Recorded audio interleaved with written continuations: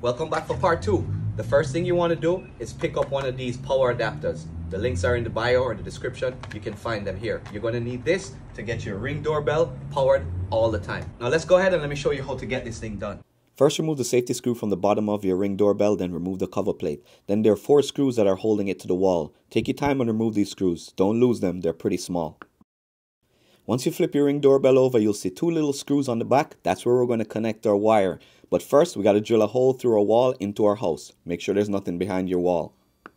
Once I'm inside, you got to plan how you're to run your wire. In this case, I'm going behind the baseboard, so I got to score it nice and easy so that I can use a baseboard removal tool to pull all the baseboard up. Take your time, this is easy. Next, we're going to go ahead and remove the faceplate to our outlet. What we want to do is put two small holes, one beside the outlet and one directly below behind the baseboard.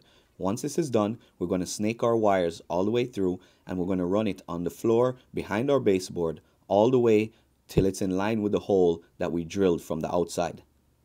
Once again, we just continue fishing our wire from the hole all the way to the hole that we drilled from the outside. Once this is done, we can push our wire through to the outside. Before I continued, I went ahead and put the cover plate back on and plugged in my power adapter and then went ahead and secured our baseboard and put it all nice and neat so my wife wouldn't complain. Now it's time to wrap this thing up. All we need to do is strip the wires and get them ready. Once they're stripped, all you need to do is connect them to the back of the ring doorbell to the terminals that I showed you and you're done. All we need to do now is just install it to the bracket by replacing the four screws. Hopefully you didn't lose them. Once you got all the screws in, all you need to do now is insert the battery, put the cover plate back on, and you're done.